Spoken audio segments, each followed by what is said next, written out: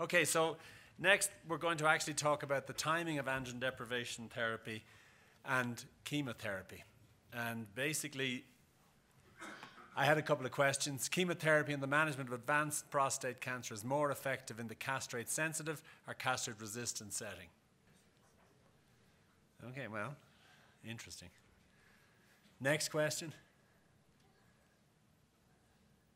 Cisplatin is typically more effective than docetaxel when treating advanced prostate cancer. True or false? Okay, good to know. All right. Chemotherapy, i.e., docetaxel, may be a better option than a secondary hormonal option for patients who have the ARV7 mutation. True or false? Very good. And visceral metastatic prostate, prostate cancer has a better prognosis than small volume bone metastatic involvement. Okay, good. All right, I go to the talk, please. So, ADT therapy, largely with LHRH agonists, is currently the standard of care in the management of newly diagnosed prostate cancer patients. Whether you combine it with an, with an anti-androgen or not, it induces PSA responses, but inevitably, castration-resistant disease appears at an average of 18 to 24 months. Chemotherapy is typically considered as a last resort, or was up until recently, when there were a number of trials which suggested that it played a role earlier in the disease. The use of chemotherapy in prostate cancer really came from two studies. One was the SWOG study, the second was the TAX 327 trial. The SWOG study identified the fact that we didn't need estramustine, but both of them showed that docetaxel given at a dose of 75 milligrams per meter squared every three weeks was the most effective treatment. But typically, up until recently, it's been a last resort. If we look at this slide, it's basically the evolving treatment paradigm in prostate cancer. You see that there's been a major change since 2004 when docetaxel was first, uh, was, was first put on as a, as a viable treatment, and all of these other things came behind. Fact is, though, it's been changing and changing rapidly over the last three to four years, and it's wonderful to see it and I think the whole face of treating prostate cancer is changing very quickly. But the question still remains can we do better while patients are still castration sensitive? Because that's the area that I think the disease is more susceptible to the therapies that we give. And here you see once again a list of the therapies. And if you look here, chemo has been moved up on that list. There's other changes that have occurred. We've heard about the antagonist versus the agonist. And we've also seen that Taxotere has now been moved to the castrate sensitive state, and there may be more moves afoot. Just, I'm not going to go through this again, but the Degarelix monotherapy, there was actually a very good paper by Peter Iversen, which was published in 2016, which was of two randomized controlled trials of docetaxel. It was basically the original CS21, and then also the trial that was done with the three month docetaxel, which, as I mentioned before, was only 89% uh, effective, so therefore didn't get approved, but there was a lot of patients that we could look at.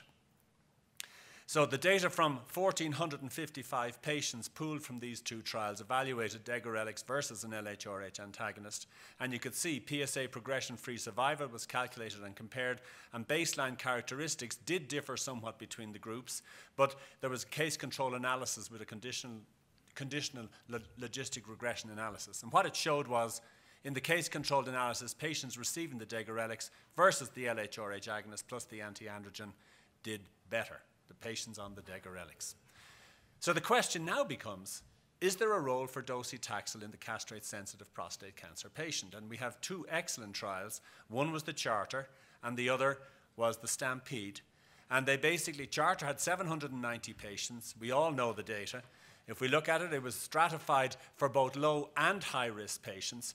And when the results came in, they started off originally with 568 patients, but it rapidly increased to 780 to include more low risk patients.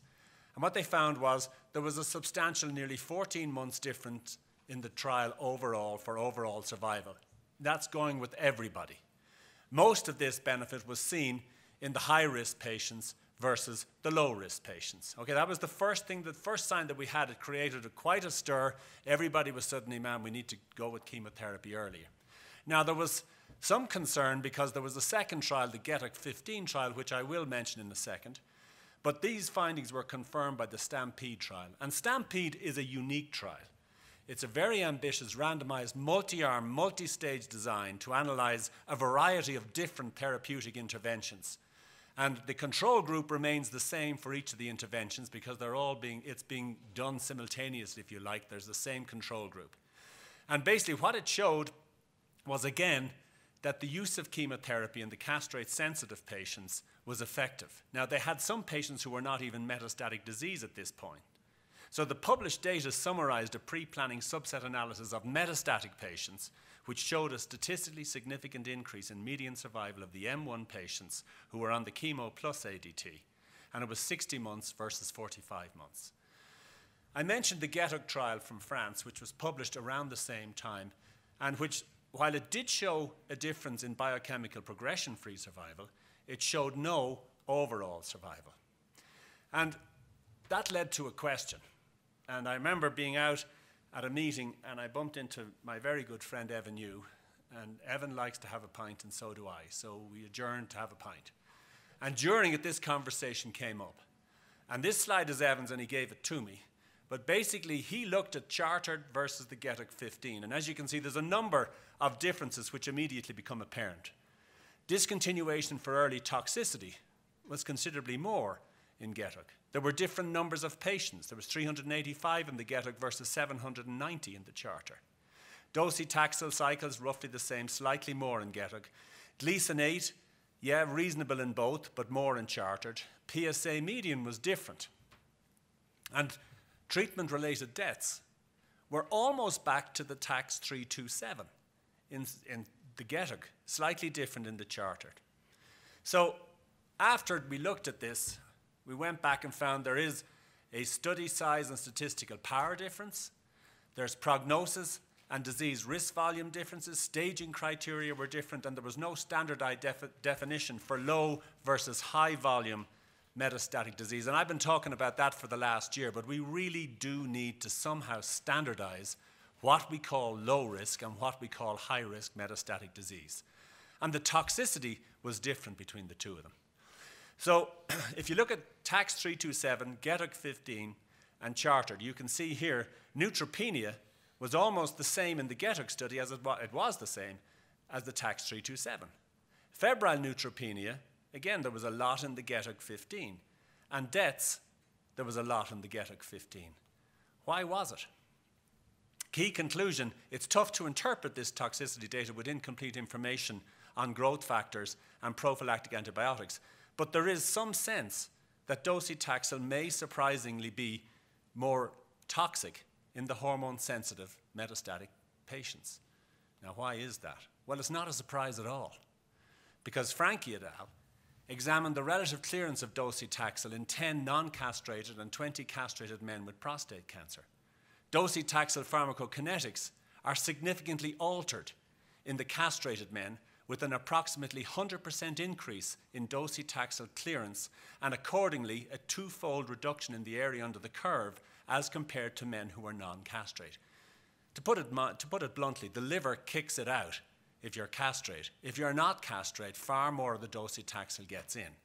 Hence, you are likely, and this is basically one of the graphs from that, you're far more likely to see toxicity if you're still castrate sensitive and a 50% decrease in docetaxel clearance was associated with an over 430% increase in the risk of grade 3 to 4 neutropenia. So there we are sitting in the pub, and now we've had probably three or four pints. And we looked at each other and we said, damn, if the toxicity is greater, might not the efficacy also be? And when we went back and looked, we found that a significant number of the patients in the GETUG study were given their chemotherapy two to three weeks after getting their LHRH agonist. They weren't castrate. So, the rationale what about giving docetaxel before medical castration? How's about we take a look at it and see what's the rationale for that? There's three areas you look at pharmacokinetics, in vitro and in vivo data, and human data. So, if we look at the prostate cancer cell lines, that showed increased sensitivity to taxane mediated cell death in response to androgen stimulation of the androgen receptor. In one series, androgen dependent LNCaP prostate cancer cells showed a decreased survival when cultured with steroid hormones and paclitaxel as compared to cells depleted of steroid hormones. The mechanism is supposed to be caspase dependent apoptosis in the presence of p53 activation and cellular proliferation. If we look at LNCaP bearing mice, combined with uh, LNCaP bearing severe combined immunodeficient mice, tumor volume and tumor apoptosis were measured in response to castration alone, docetaxel alone, both interventions administered concurrently, and both interventions administered in different sequences. Docetaxel administered prior to castration yielded the longest delay in tumor growth and studied interventions. We moved to the breast cancer data. We found the same thing in women. If they were on tamoxifen, they did not do as well as if they got the docetaxel before they got their tamoxifen. And what about human trials in prostate cancer? Hussain et al. treated 39 men with non castrate level testosterone and increasing PSA post definitive therapy for localized prostate cancer. That was a prostatectomy or radiation with up to six cycles of docetaxel at the dose I've already mentioned. Chemotherapy was followed by androgen blockade. Serum PSA decreased over 50% in almost 50% of the men on the docetaxel alone, and 75% in 20% of the patients in docetaxel alone. Only one patient had increased PSA at the end of the docetaxel therapy. The majority of patients had PSA progression after stopping their ADT. But interestingly, five of the 33 patients had an undetectable PSA at a median of 18.9 months after stopping ADT. Seven of the men in this study had radiographic evidence of metastatic disease, and three of those were among the long term survivors. So that has led to a proposal where we've actually gotten a trial funded which looks at a phase two study of docetaxel before medical castration with degarelix in patients with newly diagnosed metastatic prostate cancer. The theory behind it is that we give them the four cycles up front, they will need protection, they will need antibiotics, they will need to be assessed for toxicity. We treat them as necessary with GM-CSF, and then they get castrated, and we want something that's going to castrate them quickly. Ergo, we give them docetaxel, and then they get the last two. We've now accrued almost 50, we have 15 patients to date. We're, it's a phase two, so we're trying to get 50 patients. So, in answer to the question, timing of ADT, why would you give ADT at the very end when the patient's at their most sickest? They can't tolerate the dose. So, if you're going to give it, we know today we should probably give it at the time that you're going to do ADT. That makes sense when they're still castrate sensitive. But let's move it even forward and make them non castrate. That's the trial that has to be done because I, I now, having looked at it, that's something I really want to know because if you can get more in, if they're healthier patients, you may see a benefit. We certainly have the evidence preclinically and some early clinical evidence. So I'm not sure what the timing of ADT should be, but I certainly know it probably shouldn't be at the very end of life. And the other question I have is if we're going to start using all the androgen ablative therapies, Okay, let's do that. But if we do it, be prepared for early resistance.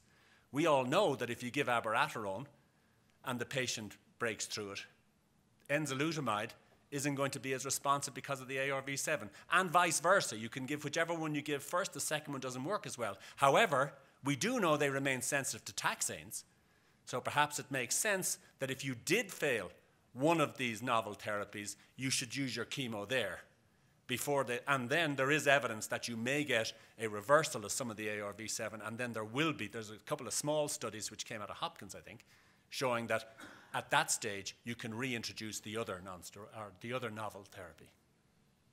So that's all I have. We don't know the answer, but I do feel that it's probably earlier rather than later. Thanks very much.